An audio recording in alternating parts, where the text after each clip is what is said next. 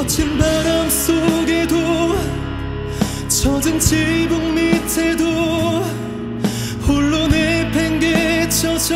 있지 않다는 게 지친 하루살이와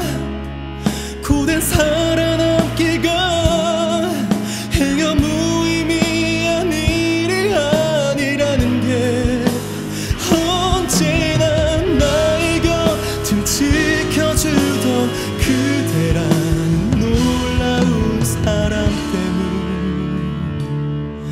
依然